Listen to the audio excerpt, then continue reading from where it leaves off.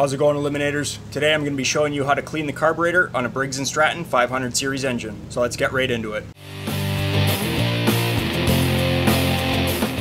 So I have a Briggs & Stratton engine. These are known as like the Briggs & Stratton 500 series engines with the plastic carburetor mounted to the fuel tank right there on the machine. These are super simple to clean guys, so I'm going to be taking you through the process right now. The tools you're going to need is a half inch socket, a 3 8 socket, a number 2 Phillips screwdriver, and also a slotted screwdriver. Now I currently have this engine on my little engine stand table here because we removed the engine off of a mower that was completely rotted out. So that thing is into the scrap bin and I'm going to be doing a carb clean on this so that I can re power another mower deck that's in a little better condition.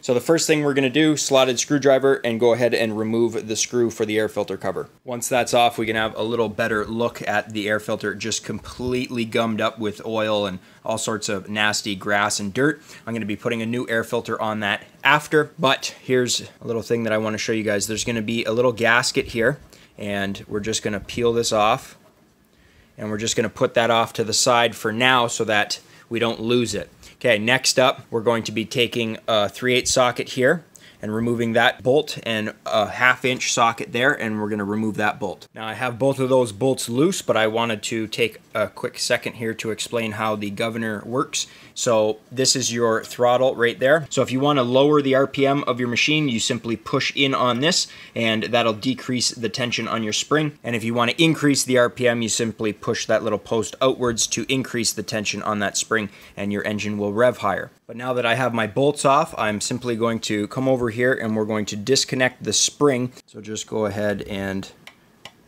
disconnect it. Just try not to overstretch your spring when you're disconnecting that. But now that the bolts are removed, we can go ahead and gently start to pull the carburetor. You guys can see that I'm just twisting it ever so slightly. And we're going to pull the carburetor off of the intake manifold. Now, I did a video on replacing a cracked intake manifold. I'll link it in the top right of your screen if you want to check that out. Sometimes on the plastic ones, they can crack and then your machine can hunt, but you guys can see here that there's going to be an O-ring and then a white plastic retainer. We're going to go ahead and pull that off and put that to the side. Now the trick's gonna be to get the throttle lever off of the throttle linkage there. Now if you have a look here, the throttle linkage goes down and then it comes back out. So all you're gonna wanna do is pull that and then we can go ahead and twist this. Now when this engine is mounted to a mower deck, there's normally a little bit of extra room for you to twist that down but because I have it on my table, there's a little less room, so I have to lift my engine up. But all you're gonna do is pull the fuel tank and the carburetor down with that linkage up, and then you're gonna rotate it and slide it off. It's quite simple, and it's gonna look something like that. Now, this engine is leaking a little bit of oil. We can see it here, so I'm assuming there's either a head gasket leak or the head bolts have simply come loose. That's probably the case because it happens a lot on these engines. However, you can see that because there's a bunch of oil, I am going to be going in here and cleaning this, but today's video is just going to be on how to clean one of these carburetors. So I've disconnected my spring here and I've taken that off simply so that we don't lose it. Now I can go ahead and pull off our crankcase breather vent tube. This is a little 90 degree and actually we can see here that this one's cracked so it's not going to be working as it should so I'm going to go ahead and replace that when I go to reinstall this carburetor onto the machine. But you can simply remove that little rubber boot and now there's going to be, depending on your model, five or six Phillips screws. So there's going to be Phillips screws back here, two of them, and then there's going to be three Phillips screws here. You can go ahead and simply remove them and we can pull our carburetor right out of the fuel tank. Okay, so I have the five screws removed from my carburetor, but when we remove the carburetor, you're going to notice that the throttle is now on the right side of the carburetor when we're looking at the fuel tank from this side. That's not how it's supposed to be. So there's this little tab there and you can simply pop the throttle over top of that. Sometimes when you're removing it because the spring's hooked up, it's going to pull that over to one side. So this is the side that you want to have your throttle on. That's going to be a big deal because if you go to reinstall it like this, your machine's not going to run right because it's not going to rev out. So you want it on to the left side simply like that. But now because these screws are loose, we can go ahead and simply pull the carburetor out and on this model, the bowl is built directly into the fuel tank there. Now I'm going to get into replacing the diaphragm and the gasket shortly. But this right here, guys, is essentially your fuel pump. It runs off of the little spring here. So that continuously moves up and down, which pumps fuel through the main pickup here and then into your engine to make it run. So now we can have a little better look at our carburetor. Now there's going to be a spring here. You can simply pull that up and go ahead and remove that and put that off to the side. There's going to be a little screen pickup and you guys can see just how dirty this thing is and it's probably dirty on the inside as well. Let's get some light in here so we can see it. So there's one of our ports here and then we have our primer bulb here and this model is supposed to shoot fuel directly into the carburetor so you guys can see the little pickup there and then that shoots it right through here into your engine. The main thing is that that little brass jet there, that gets clogged up and your main jet here gets clogged as well. So we're going to go ahead and remove this screen and then I can show you what the main jet looks like. Sometimes they're a little tight, but this one just pulled off. So that's your main jet, guys, right there. A certain size lets a certain amount of fuel through, but they get clogged up and your engine won't run. So if you have a machine where you go ahead and let's say you prime it three or four or five times and you pull the cord on your engine, it fires up and then it dies immediately. What's happening is your primer bulb's working and your primer is shooting fuel into the engine. Your engine's burning off that fuel and it's trying to suck some fuel through the main jet, but it can't because the main jet's probably clogged. So then your machine just simply dies. So we're going to go ahead and clean this carburetor. The only thing I wanted to make note of here is that this is a plastic carburetor. And the biggest thing that I see a lot of guys do when they clean these in ultrasonic cleaners, which I have, they take these, they put them into their ultrasonic cleaners, and they put hot water with a you know cleaning solution like a degreaser like I have the Indo 701. This carburetor, because it's plastic, can warp around this edge here. So this edge is supposed to be perfectly flat, right? So what happens is guys put these into an ultrasonic cleaner with really hot water thinking they're going to do a good job at cleaning it and there's a little warp that happens. So when you go to reinstall this carburetor onto your fuel tank, you'll notice that from here to here, there's a large space that doesn't have a screw. This side has more screws here, so you would get less of a gap there. But what I see is a lot of times the carburetors after they've been warped is they'll leak right here, or they'll leak right here, or they leak at the back there. So the biggest thing to do on these is just simply use lukewarm water, but these things are so easy to clean, guys. You can do it with a little bit of dish soap and a garden hose, and I'm gonna show you how to do that. So even though I have an ultrasonic cleaner, I have a little spray bottle of Spray-9 here. Shout out to Permatex for sending that my way. And I'm just gonna douse this carburetor as best I can. Now you guys don't have to use Spray-9, but this stuff works pretty awesome, so that's what I'm using. But I'm gonna go ahead and take my garden hose here, and I've set it to a spray that's fairly aggressive so you guys can see it shoots out pretty good. And we're just gonna go ahead and blast this thing. Now the big thing here is you're gonna wanna get all of the holes and the ports in the bottom of the carburetor here.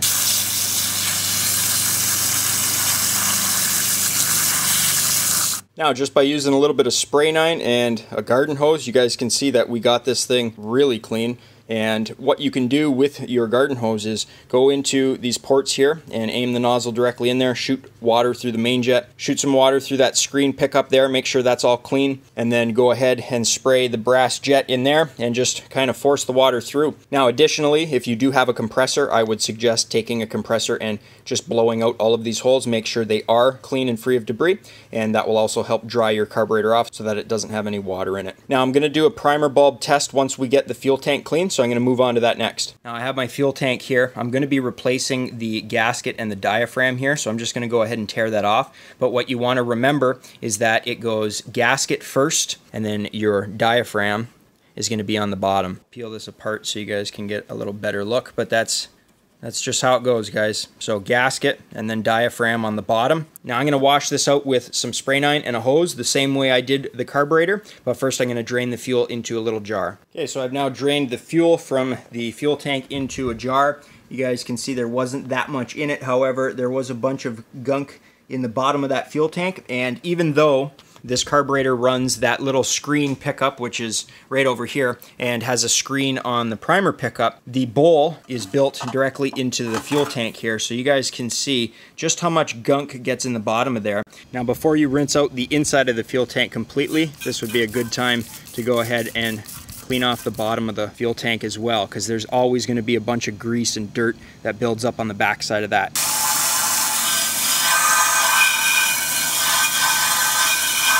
We're just going to go ahead and spray the top where the bowl is there and then we're going to go ahead and spray a bunch of it into the fuel tank itself. Then you can go ahead and take your hose, put your hose into here, and we're just gonna spray until the water that comes out of this hole here is clear.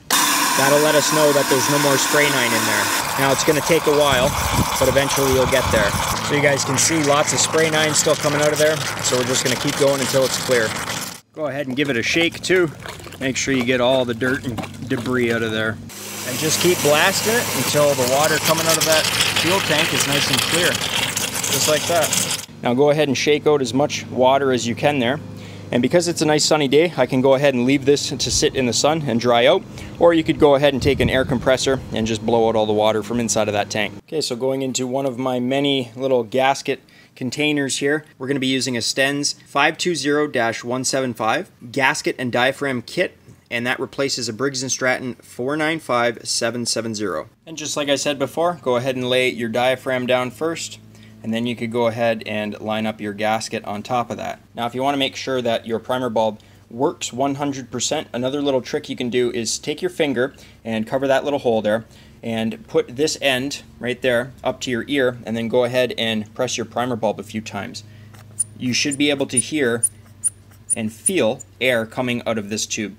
So that's a quick little way I know the primer bulb works. So I'm going to go ahead and take our diaphragm fuel pump spring here and we're just simply going to go ahead and pop that back onto there. I also went ahead and cleaned out our little pickup screen, so we're going to take that and put it back on top of the carburetor just like that. So we're now ready to take our carburetor and simply drop it into place guys then we can go ahead and get our Phillips screws back in. Now when you're putting your screws back in I would recommend just starting them all out first and then go slow because that spring is on the carburetor, when you press the carburetor down, sometimes the diaphragm in there can pull itself and misalign your holes. So you just want to make sure that you don't tear a gasket or your diaphragm. So you want to get all your holes lined up first. I'll go ahead and tighten up all these screws and then we'll go ahead and get our O-ring and our O-ring retainer in place. So our carburetor is now installed. We can go ahead and take our little O-ring and just pop it in you guys are going to notice that it's going to have a little groove that it's going to sit into and then you can go ahead and take your retainer and that you should hear it click when it pops in. Just like that. So now the o-ring is in there and it's not going to come out and this little retainer is what helps keep that nice tight fit up against your intake manifold. So now this carburetor and fuel tank is ready to be reinstalled onto my machine. Now I'm not going to be reinstalling the carburetor onto this machine because this engine still requires a little bit of work. Like I said, I want to go over the head bolts and just wash it, clean it up, and make sure that uh, everything on the engine side is good to go. But our air filter here is in desperate need of replacement and I can wash the air box the same way I did the carburetor and fuel tank. But I have a brand new air filter here. This is a Stens 100-632 and that replaces a Briggs & Stratton 698-369. So that's the green filter. The ones you can get on Amazon, they're cheap too. They're not as nice of a quality as these. Sometimes the holes are kind of offset a bit, but it's foam so you can just go ahead and jam it in there. And uh, these are quite cheap, guys. I have a bunch of them because I work on these carburetors and these engines all the time. Well, that's it for today's video, guys. Like I said, those carburetors are super easy to clean, but if you're taking the time to clean a carburetor, you might as well go ahead and clean the fuel tank as well. That way you're gonna limit the chances of something going wrong once everything's reassembled. So if you guys enjoyed the video, think about leaving me a thumbs up. You know, it really helps me out. You can click here to subscribe and click over here to watch one of my previous videos. I upload every single week, so be sure to stop on by next week, check the channel out for new content. And as always, guys, thanks for watching.